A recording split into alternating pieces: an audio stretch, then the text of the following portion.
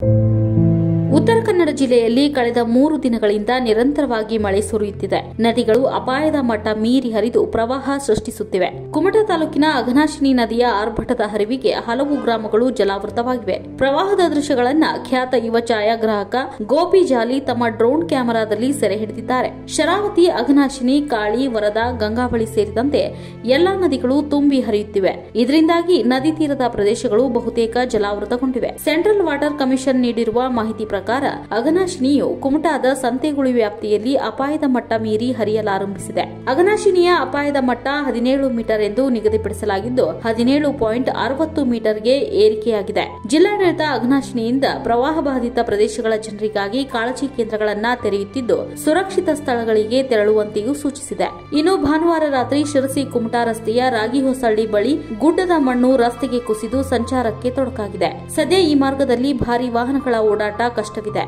ಲಘು ವಾಹನಗಳಿಗೆ ಸಂಚರಿಸಲು ಪೊಲೀಸರು ಅವಕಾಶ ಮಾಡಿಕೊಡುತ್ತಿದ್ದಾರೆ ಅಲ್ಲದೆ ಶಿರಸಿ ಮತ್ತು ಕುಮಟಾದಿಂದ ಸಾಗುವವರಿಗೆ ಬದಲಿ ಮಾರ್ಗಗಳನ್ನು ಬಳಸುವಂತೆಯೂ ಸೂಚಿಸಲಾಗಿದೆ. ಇನ್ನು ಐದು ದಿನಗಳವರೆಗೆ ಭಾರೀ ಮಳೆಯ ಸಾಧ್ಯತೆ ಇದೆ. ಹವಾಮಾನ ಇಲಾಖೆ ಮುನ್ಸೂಚನೆ ನೀಡಿದ್ದು, ಜನತೆ ಆದಷ್ಟು ಸುರಕ್ಷಿತ ಪ್ರದೇಶಗಳಿಗೆ ತೆರಳಿ ಮುಂಜಾಗ್ರತೆ ವಹಿಸಬೇಕಿದೆ.